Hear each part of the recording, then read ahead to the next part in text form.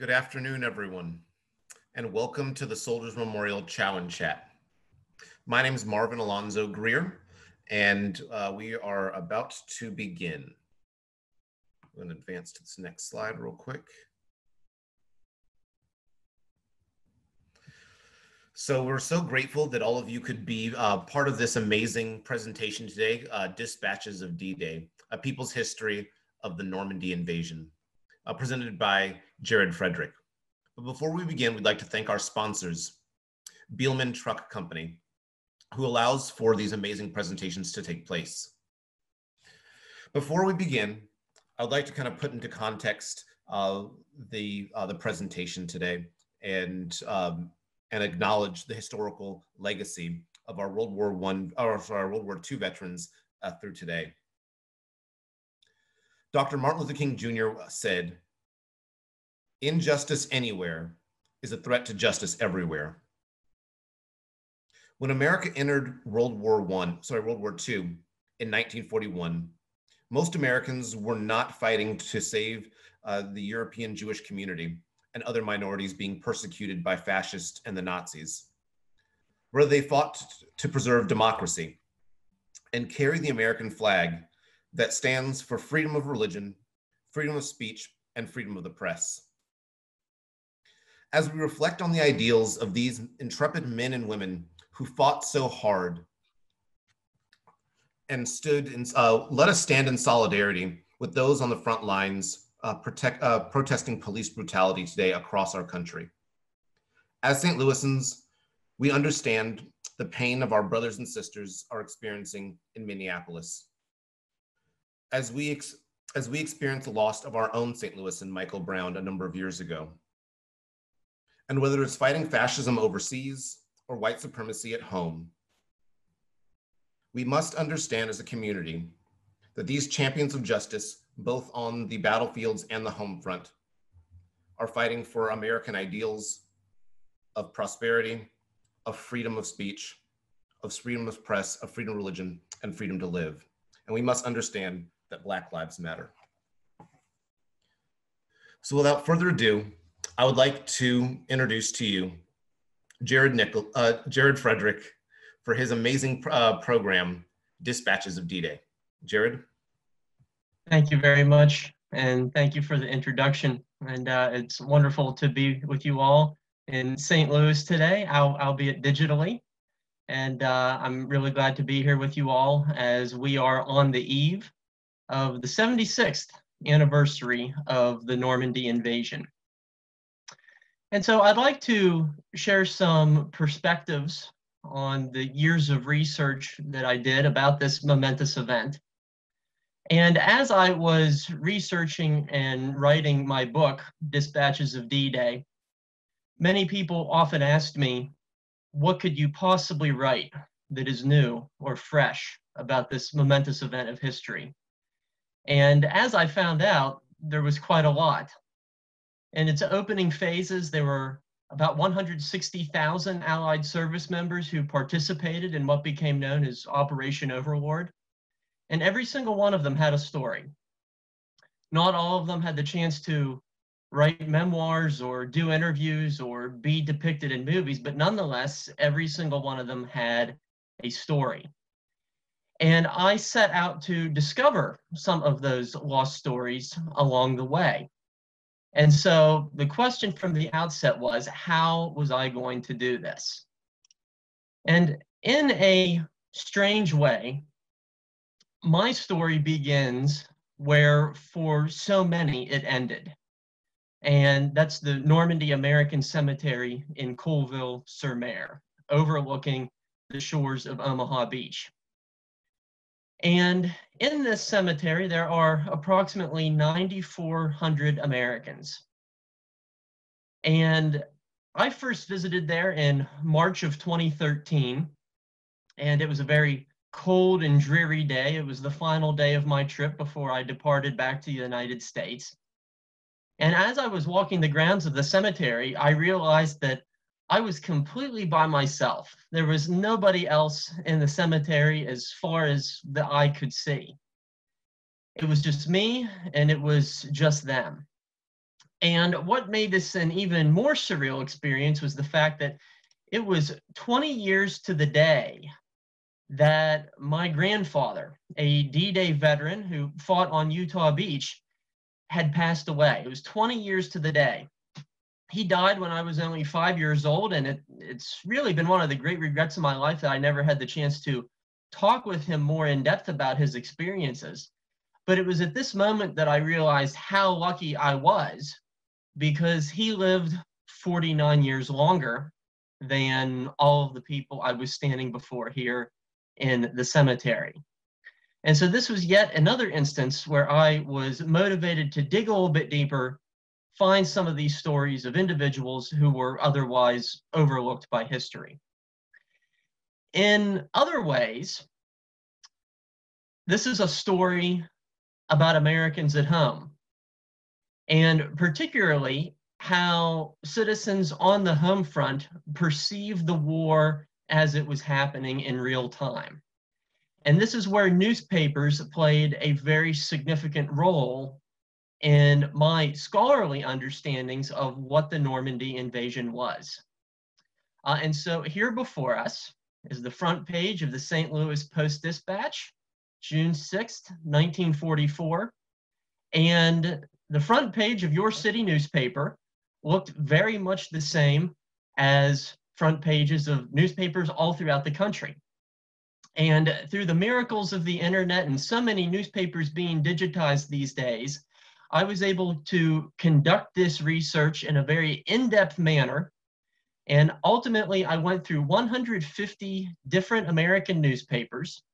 I transcribed approximately a half a million words of newspaper reports and letters that were chronicling the Normandy invasion and these firsthand accounts, written in real time, became the foundation for my research. So it, it offers a, a, little bit of perspective, a little bit of a benefit. The fog of war hasn't quite settled in as of yet. These perspectives are, are fresh, they're vivid, they're visceral, and by and large, they're an untapped resource on the part of historians. Um, and so this is truly where my journey began. One of the primary newspapers that I used quite frequently um, is a publication that is still in print to this day, and that is Stars and Stripes, the US military newspaper that is still widely read.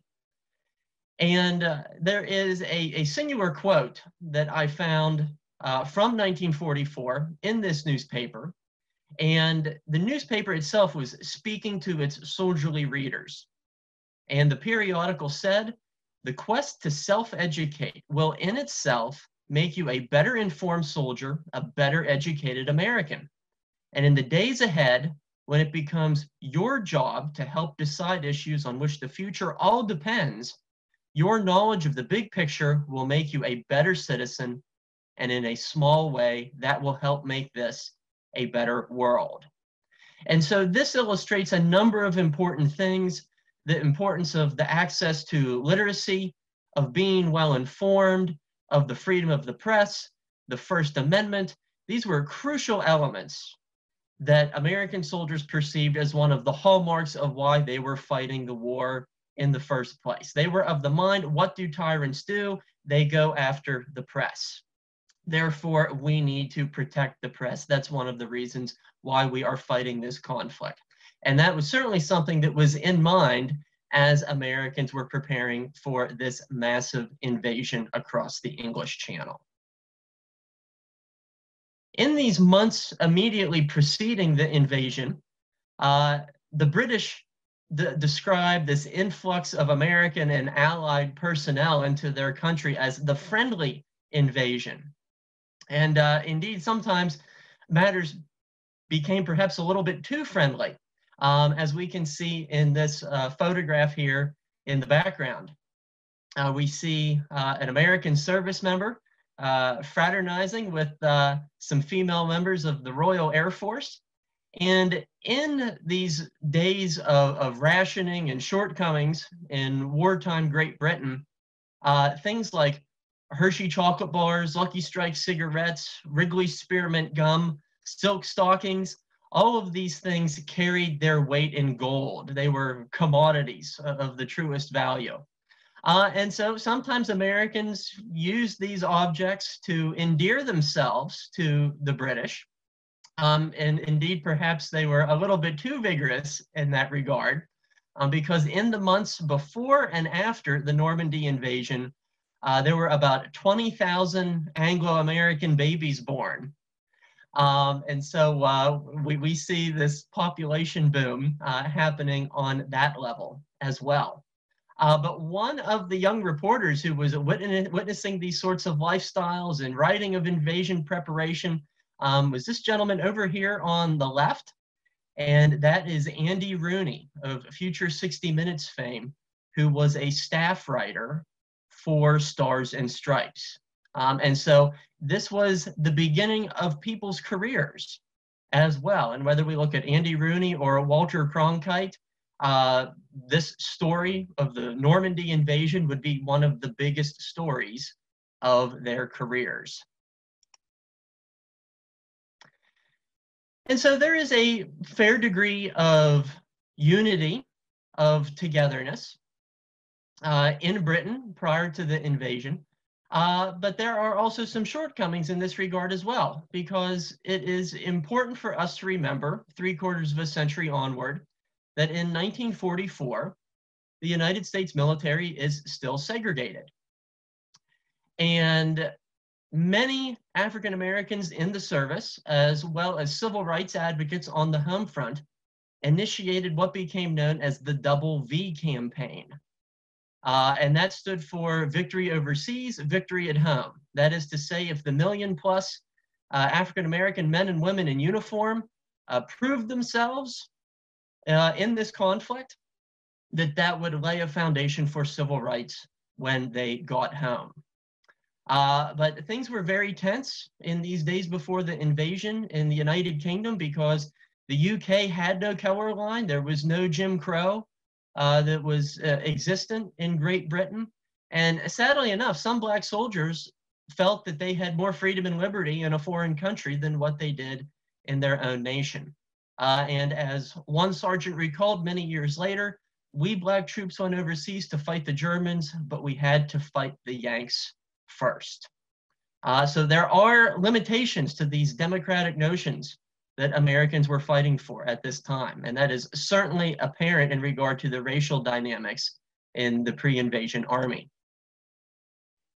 Now, when we talk about the invasion, and when we think about when does the invasion begin, if you were to ask a member of the US 8th Air Force when the invasion began, they would have said 1942 because that is when they started bombing German cities, and that is when they started bombarding various military installations in Nazi occupied France. And these airmen went through grueling conditions, of flying, you know, uncompressed planes at 50,000 feet, and they would ultimately lose more men in the skies over Europe than what the, uh, the Marine Corps did in the entire Pacific War.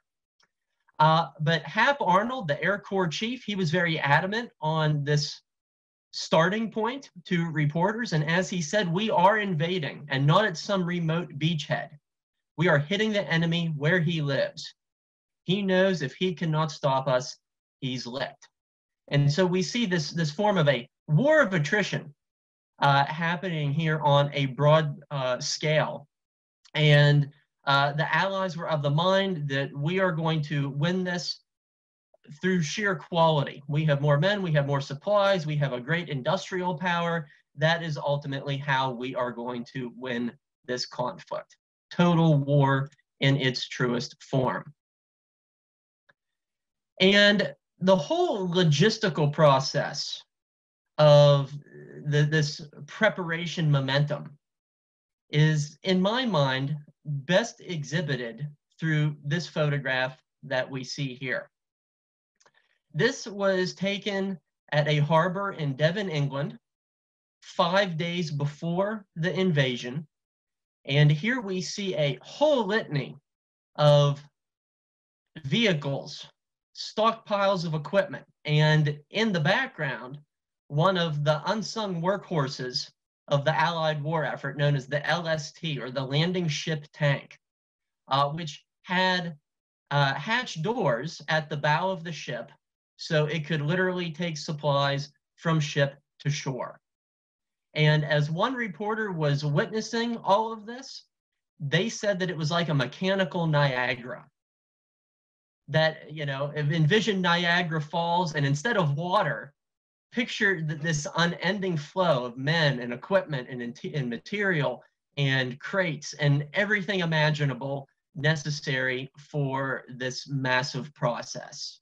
And he said it was unlike anything that he had ever seen before, and humanity would probably never see anything quite like it again.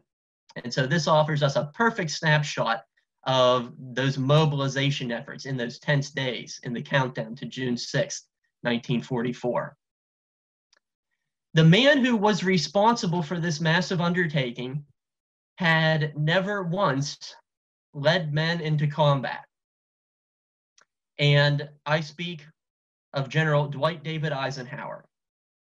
His skills were grounded in planning, cooperation, diplomacy, and logistics.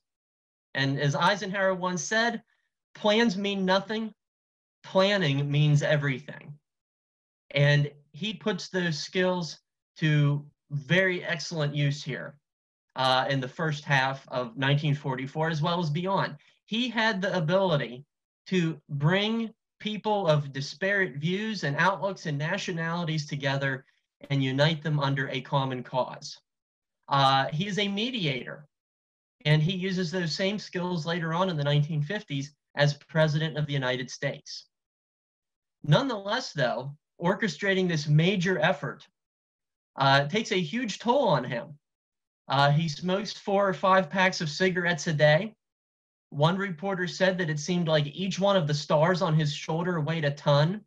This, this was the weight of command being placed upon him. It was a glorious burden.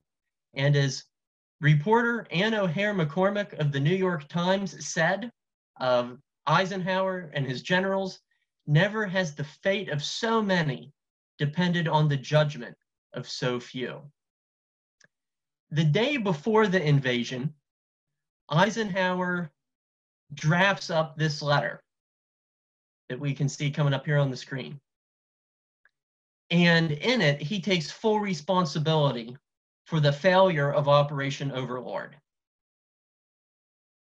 He was planning for every possibility, including the unthinkable possibility of failure. And this is what leadership is a person who is willing to take credit for defeats as well as successes. And luckily for he, his soldiers, and us all these years later, the how Operation Overlord plays out renders this letter unnecessary. What I think is so revealing about this letter, which is today in the National Archives, is how he dates the letter. He dates it July 5th, not June 5th, July 5th. The strain on Eisenhower is so great that he puts the wrong month on this letter. It gives us a very brief glimpse into his psychology of the moment and the, the undue pressures that were placed upon him at this very desperate hour of history. But on June 5th, 1944, tens of thousands of Allied service members began to mobilize. And of course, there were many folks from St. Louis who were among them. And one of them is this gentleman right here, Preston Bagent, who was in the 149th Engineer Combat Battalion, who would be going in in the earliest moments of the invasion to clear enemy obstacles with uh, explosives and with vehicles. And uh, his materials are available online through the Library of Congress. I welcome you to uh, go and explore those, and you can actually trace his journey. Uh, but he distinctly remembered this moment of when uh, the dominoes began to fall and this huge endeavor was set into motion, what Eisenhower called the Great Crusade And Bagent said, once we shoved off, we were read a little message by General Eisenhower. We were all very tense. We wondered what was in store for us. It was to be our first taste of combat. And for this young man from St. Louis, it was going to be his first, but not his last taste of combat. Uh, luckily, he did survive the war. And following the conflict, he became an art designer for the St. Louis Dispatch. He passed away a few years ago, uh, but you can find out more about his story via the Library of Congress, and a fascinating story it is indeed. My book is not about strategy. It is not necessarily about tactics. It's not about command decisions. Rather, it's about people, common everyday people, many of whom we've never heard of before. All that said, there is one single map in my book in order to offer us the big picture. And just as a recap or a, a refresher for some of you who are watching, here is how it's all going to play out on June 6th. There are five main beachheads on a stretch of sand that uh, uh, stretches about 60 miles wide uh, in length. Uh, the two westernmost of the beaches will be designated for American landing zones. And uh, going from west to east, we have Utah and Omaha. Uh, going a little bit further eastward, we have two British beaches, Gold and Sword, and they bookend a Canadian sector codenamed Juno. And ultimately, the landings occur at the place where the Germans least expected it, at the widest length of the English Channel.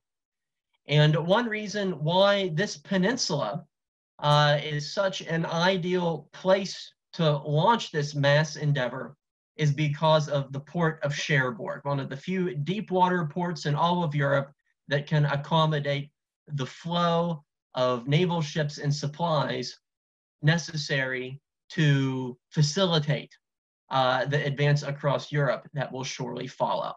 So that is the big picture. That is how it is all going to play out here.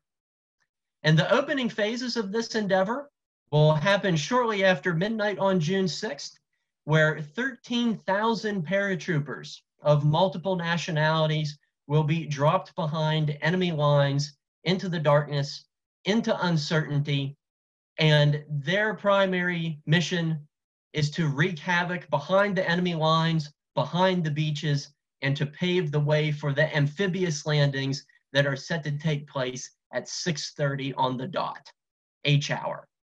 And in the due course of all of this, many combat correspondents are on hand to chronicle some of these stories. And one story that was chronicled was the group of a very colorful platoon of men in the 101st Airborne that was known as the Filthy 13. And these men were very unconventional soldiers. They were somehow able to resist army hierarchy and army authority. They marched to the beat of their own drum, so to speak. And as we can see in this photo, they shaved their heads Mohawk style. They put on war paint. They carried brass knuckles and bowie knives. They hadn't bathed since December of 1943 because they wanted to get all gritty and accustomed to living out in the field and living it rough. And uh, these were guys with a bloodlust. They were very anxious to jump in and wreak havoc as such. And as Stars and Stripes accurately attested, pity the poor Nazi who encounters them. And such was the reputation of the Filthy 13 that 13 years later, they would become the basis for the action film The Dirty Dozen. So there's a, a grain of truth um, in that movie, and it is rooted in the story of the Filthy 13.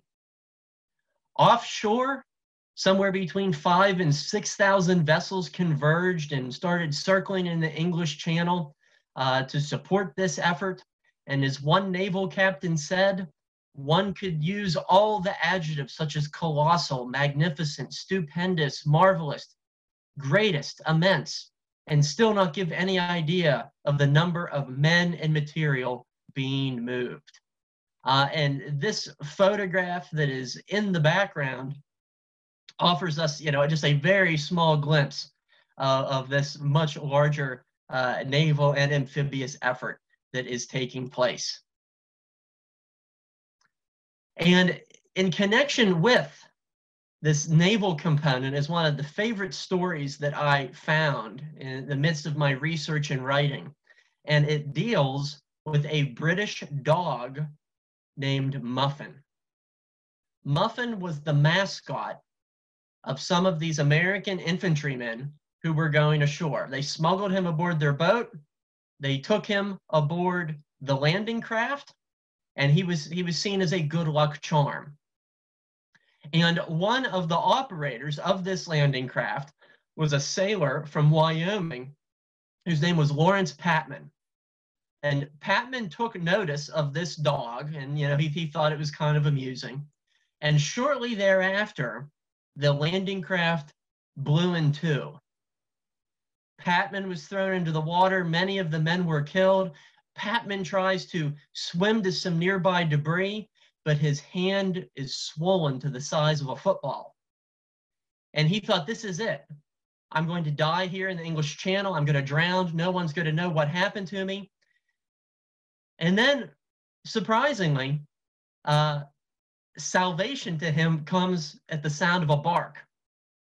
Muffin the dog survived the blast. Patman called out the dog's name. The dog paddled over to him and for the next hour or so, Patman used the dog as an improvised flotation device to keep him above water.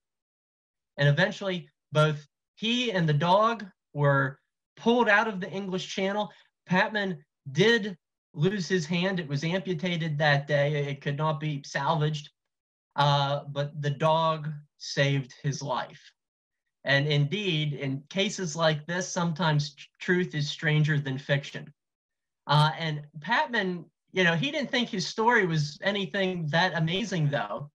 And he regretted that he could not actually step foot on French soil.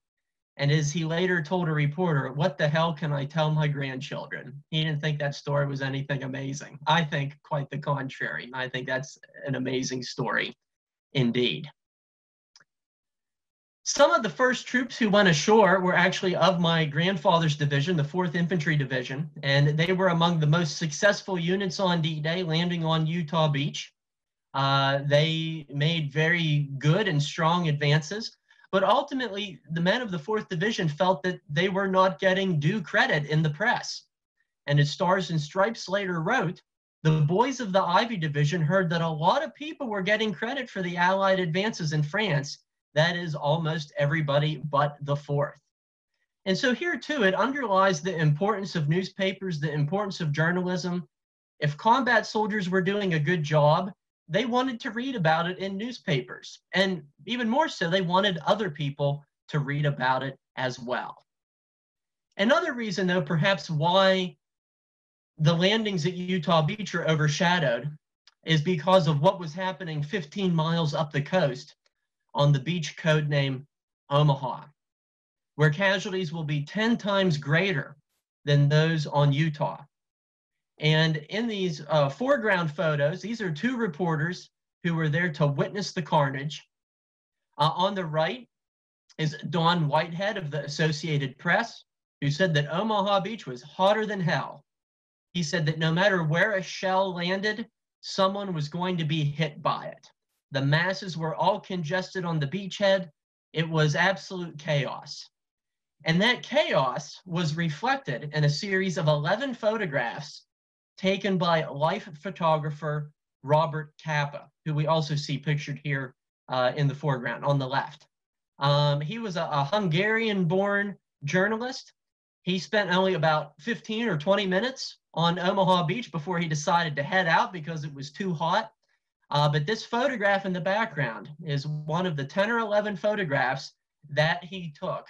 And these images became synonymous with the American landings and became deeply ingrained in American consciousness. And I think that they retain that position to this very day.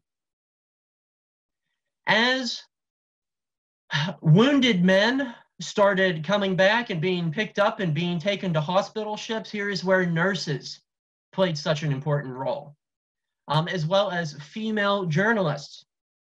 Uh, among them was Martha Gellhorn, that wrote for Collier's Weekly, and she was married to another war correspondent who was even more famous by the name of Ernest Hemingway. And she was aboard one of these hospital ships. Uh, she had to become a stowaway because the, the kind of the male-dominated military hierarchy didn't want to let her go. Um, and so she she stowed away on a hospital ship. And this is what she had to say about that overwhelming emotional scene of these wounded men being treated. She said, It will be hard to tell you of the wounded. There were so many of them. There was no time to talk. There was too much else to do.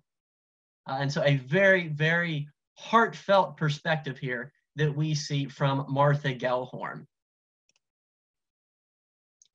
We see a similar sort of emotion emerge with the writings of Ernie Pyle.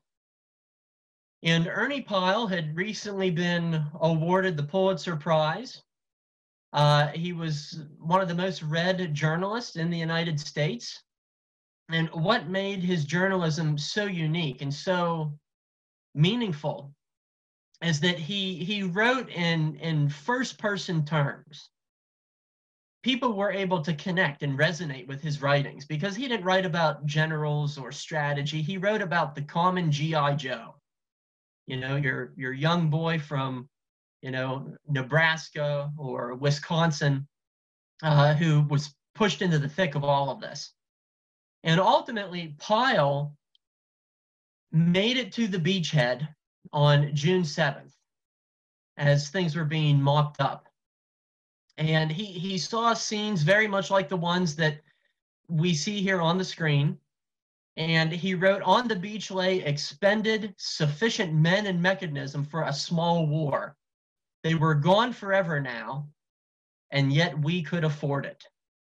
And so once more that highlights that that that sense of attrition that we're going to win this thing by quantity over quality perhaps uh, but he later goes on in his article to underscore the sense of loss, not through dead bodies on the beach, but by all of the material objects that were left behind.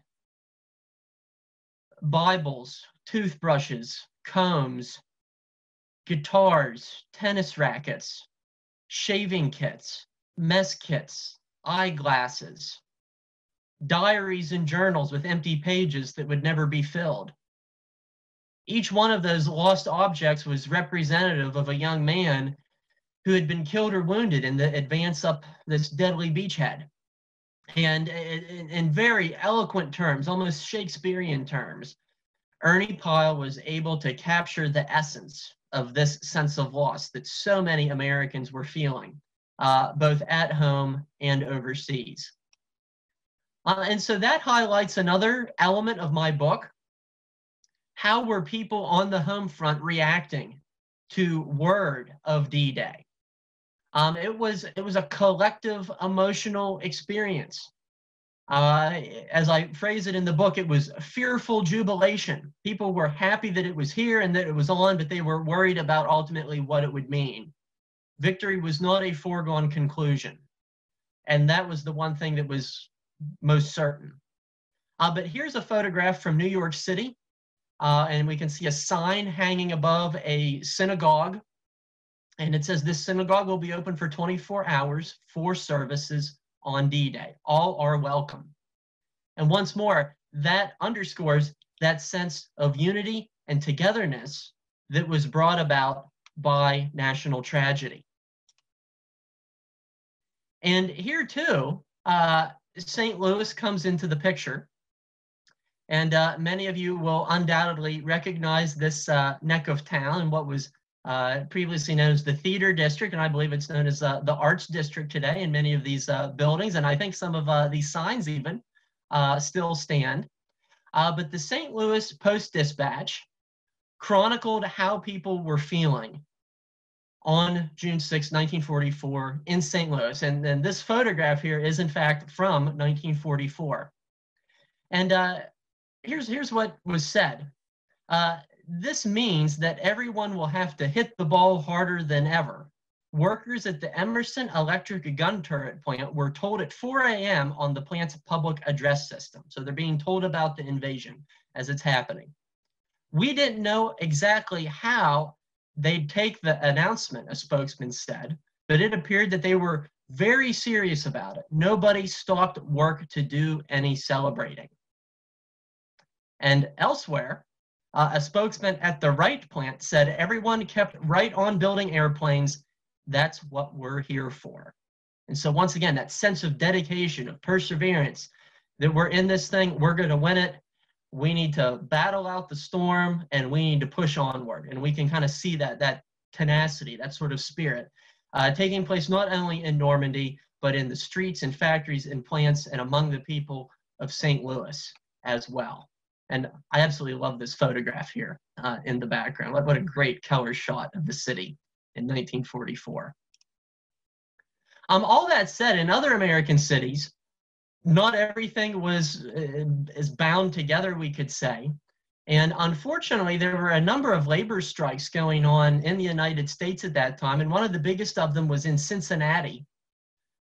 Um, and workers at a Wright aeronautical plant, several thousand of them, went on strike because six African American employees were hired to work in the metal shop.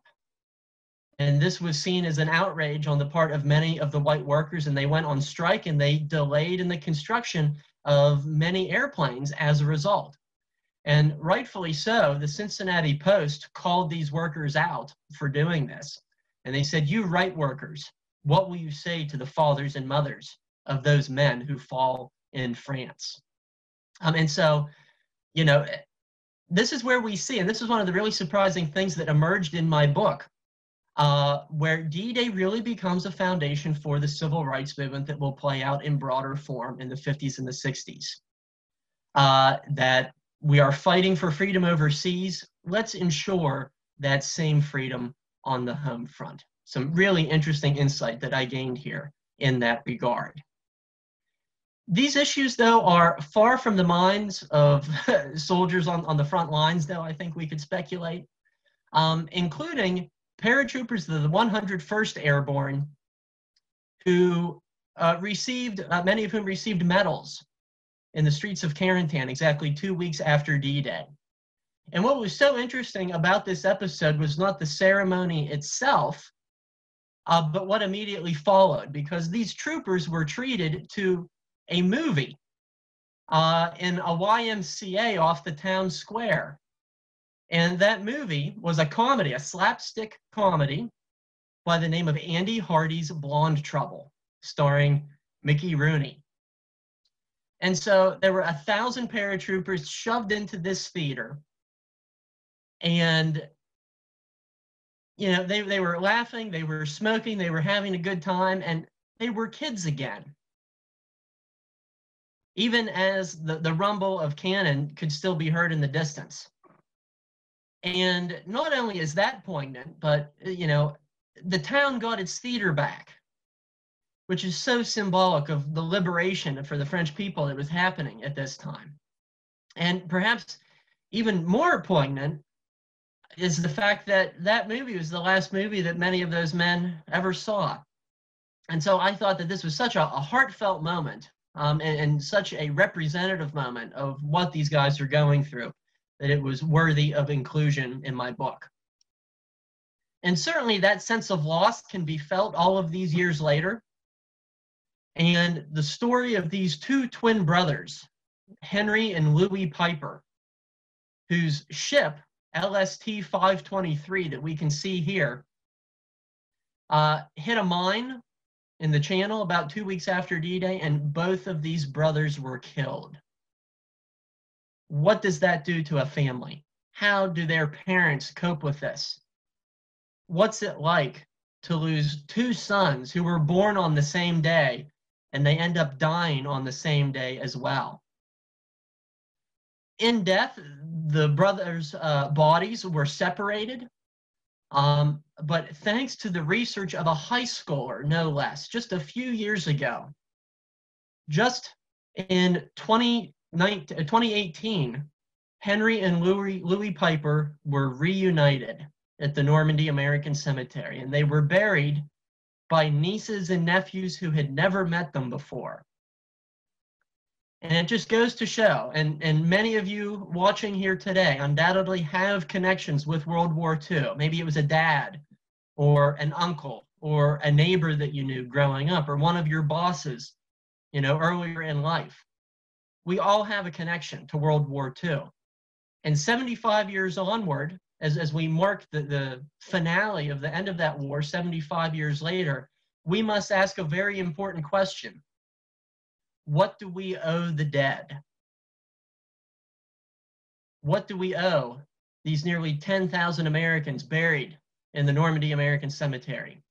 And the hundreds thousands more killed elsewhere, and the millions more who lost their lives globally. What do we owe the dead? Dwight Eisenhower had the perfect answer for that. And he confessed it to reporters the same week as the invasion. And he told those correspondents our countries fight best when our people are best informed. I should feel disturbed if I thought that I or my public relations staff were held as anything but friends of the press. I will never tell you anything false. Is in Eisenhower's view, one of the best ways to honor those who fought in the Second World War was to be informed, be engaged citizens of the world. This is what Eisenhower called for, and this is what he said was one of the best means of paying tribute to these honored dead of that conflict. And he kept true to those words.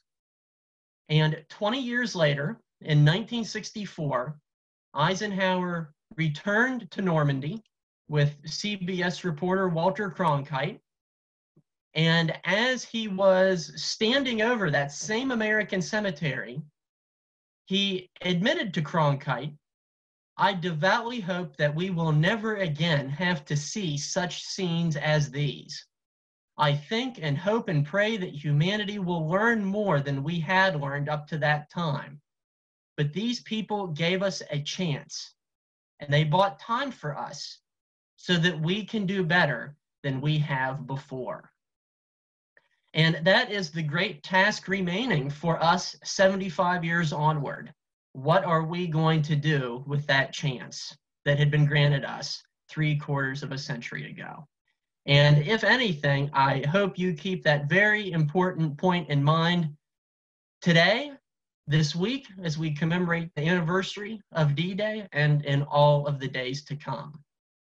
So with that, I thank you for tuning in today. Um, if you're interested in uh, purchasing a copy of my book, Dispatches of D-Day, uh, it can be uh, purchased on Amazon. And uh, if you're uh, would like to ask any questions, we can uh, we can do so now, um, or you can follow me on my Facebook page, and, and we can interact in that manner as well. But thank you for joining me today. It was a real pleasure. Awesome, Jared. Uh, thank you for your awesome presentation. It was very timely that uh, that D-Day. This is the anniversary of D-Day, and as well as um, the ideas of uh, freedom of speech and freedom of the press, um, and what's going on today in of an American society. So, thank you for that. For those of you who would like, um, for those of you who would like to ask questions, um, we uh, Jared will is available for the next about 15 minutes. Um, we have uh, to answer some questions for you. If you go down to the bottom of your screen, you'll see a Q&A box. Um, and if you click there, you can type in questions and then I will read those out to Jared uh, so that uh, he can respond to those questions. And as we wait uh, for questions to come in, uh, there was a person you mentioned in your presentation. I know you did a really good job of connecting St. Louisans uh, to your uh, in this program, but Martha Gellhorn was also a St. Louisan. Um, her mother is buried right here in St. Louis, Edna Gellhorn, um, who was an activist and pushed for um, women's suffrage. Um, and Martha left, and uh, I believe she's buried in England now, but yes, she married Ernest Hemingway. So we are very proud of Martha Gellhorn and her mother Edna and the work that they did uh, promoting uh, human and civil rights as well as uh, being one of the first women war correspondents. Indeed, indeed, and and thank you for uh, for reminding me of that. I, I failed to mention it in my presentation, but uh, St. Louis should be incredibly proud of uh, of the Gellhorn family, and uh, you know Martha Gellhorn. She really struggled with military bureaucracy during World War II. Um, and it, it was because she was a woman and she was looked down upon by the powers that were and and she had you know some infamous uh, scraps with uh, with the powers that be, um, and and she told one press officer, uh, you know, she she said flat out, um, it is necessary that I report on this war. I must see for those who can not see themselves. Uh, and uh, sadly enough, one, of one of her main antagonists was her own husband, Ernest Hemingway, who worked for the same magazine. And by this point in their marriage, saw her more as a competitor rather than a spouse. Uh, and, and so uh, she had the last laugh, though, because she did get to see the invasion. And to my knowledge, she was the first female correspondent to step on French soil uh, the night of the invasion. Uh, so uh, St. Louis should be really proud of her. And we and we are. We definitely are. Um, so there's a question that just came in. How did the filthy uh, 13 come together? And just for reference, The Dirty Dozen is one of my favorite movies. My dad showed it to me as a child. So I was very interested in, um, and when you said the Filthy 13, I'd never heard of them. So yeah, do you know how the Filthy uh, 13 came together? That's a great question. And uh, there, there's, for, for anybody who's more interested on the Filthy 13, there's, there's a great memoir uh, written by one of uh, the Filthy 13, who I had the chance of meeting on a few occasions, called Fighting with the Filthy 13. It is quite a lively read. And uh, in essence, um, you know, there was really nothing formal to it. Uh, these guys simply just kind of broke off from their regiment and they decided that they were going to go out uh, and do their own thing, uh, fight the war in, in the manner that they thought best and that somehow they were able to get away with it. Uh, they pretty much went rogue and went out and lived in the English countryside um, for several months uh, prior to the invasion. Um, I'm sure there's a little bit more red tape behind the story than that, uh, but at least that's the story that many of them later conveyed in their lives. Uh, and you know they they tallied up uh, quite the body count uh, when they were in Normandy.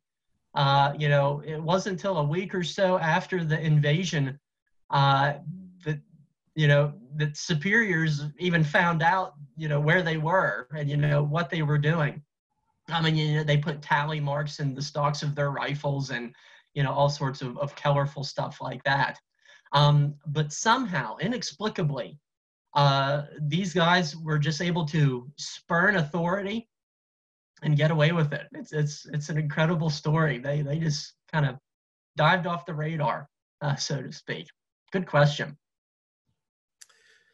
Uh, so, what was the most challenging part of your? Uh, what was the most challenging part of your research and kind of chronicling like which newspaper articles you would include and which ones you would not include in your book? that was in fact the hardest part of the book uh, because like i said I, I transcribed close to a half a million words in newspaper reports and uh, in many ways this book started by accident um, because uh, one day a student of mine uh, brought in a pile of yellowed newspapers that he pulled from the top of a dumpster. Uh, an older neighbor of his had passed away, and the kids and grandkids were cleaning house. And uh, this person had been alive during the war, and they saved all these newspapers. And even though they didn't mean much to the family, they obviously meant something to the person who originally collected them. And so he brought those into class and presented them to me as a kind of a scavenger prize, if you will. And uh, I started going through them and I was just absolutely amazed by the level of detail in them. And I thought this would be a really interesting kind of classroom activity. Uh, going through period newspapers and finding firsthand accounts of the time period. And so I started doing this research with that in mind. Uh, and then I couldn't stop. It, I just kept going. Uh, and, and, it became like an addiction uh, of sorts. Uh, and and then a half a million words later, I I figured out that you know the story that I have here is worth telling beyond the confines of the classroom, and that's how my book came into being. Uh, and indeed, as as one of our viewers suggested, it was at times incredibly difficult to determine what to include and what not to include. And uh, indeed, I wrote uh, several chapters. I have several chapters uh, that are not in the book. Uh, and uh, maybe if, if a later edition comes out at a, at a future point, I can uh, do like a director's cut or, or something like that. Um, but yeah, I mean, uh, you know, I wrote a chapter on the British perspective. I wrote a chapter on Pointe du Hoc. I wrote a chapter on the air campaign uh, prior to uh, the formal invasion. And uh, you know, my publisher thought, you know, this stuff is great, but you need to cut a little bit. um, so perhaps at a later point, I can share some of that further research. But that that was the most uh, difficult part of it all. I'm sure. Uh, as a as a fellow scholar as well, when I'm writing and having to go through stuff, it's really hard to cut because there's so much good history out there. Indeed. Uh, another excellent question. Uh, this one is mainly pertaining to your location uh, because we're all in quarantine right now for the most part. Um, and this person asks, uh, curious about uh, curious about the room and backdrop you are presenting from, because it does it does appear that you are in a war room. Yes, yes. This is a a, a digital background, and uh, the, the, that, that viewer is very astute for asking. Uh, the the room behind me is uh, the map room at Southwick House uh, not too far from Portsmouth, England. And uh, this room behind me uh, was the nerve center of the planning operations for Overlord. And so this was the headquarters for the Supreme Headquarters Allied Expeditionary Force. And in the days before, we had uh, jumbo screens and computers and, uh, you know, like mission control. Uh, they had to do it with pegs and pins. And that is how they mapped and charted the progress of the invasion. And the room today, by and large, remains a time capsule. Uh, and it is a, a museum, a historic site, which you can go visit uh, as a tourist. And, uh, you know, and, uh, and I'll mention too, um, I, I, I am a history professor at Penn State. And so for the past three months, you know, I was teaching online due to the pandemic. And so uh, every day in class, I would have a different background that thematically tied in with the, the content that we were looking at that day. And sometimes I would even dress up too, uh, to uh, uh, liven the circumstances for students.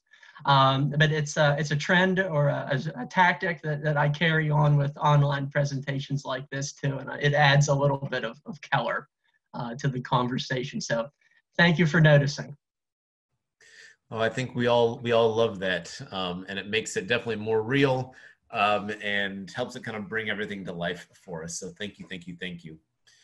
Um, I believe that is the last question, and we will wrap up. So I want to thank you all for joining us today for this amazing uh, presentation again. Uh, Jared, I'd like to thank you for presenting. Um, it was very informative, and I know I learned a lot, and I'm pretty sure our viewers did as well. I hope I can come in person someday to your fine museum and uh, meet some of you all individually. Oh yes, we would definitely. Uh, we'll definitely have you back um, in person once things are a little bit safer for you to travel and leave your uh, uh your map room.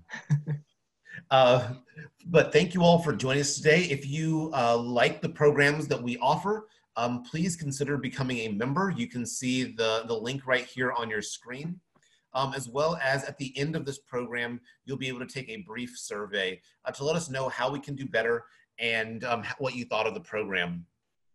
Again, we want you to uh, we want to thank you all for coming out today and joining us uh, digitally. And uh, check us out in two, uh, in two weeks. Our next program will be on our next challenge chat will be on uh, June uh, June 17th at the same time at noon, and it'll be focusing on Ulysses S. Grant and Reconstruction, and they'll be offered by Nick Sacco, who is one of the uh, the park rangers at the U.S. Grant National Historic Site here in St. Louis. Um, so check us out, and we hope you all are having and remain to have uh, remain having a safe and productive um, uh, week. Thank you all for coming out today. Have a great day.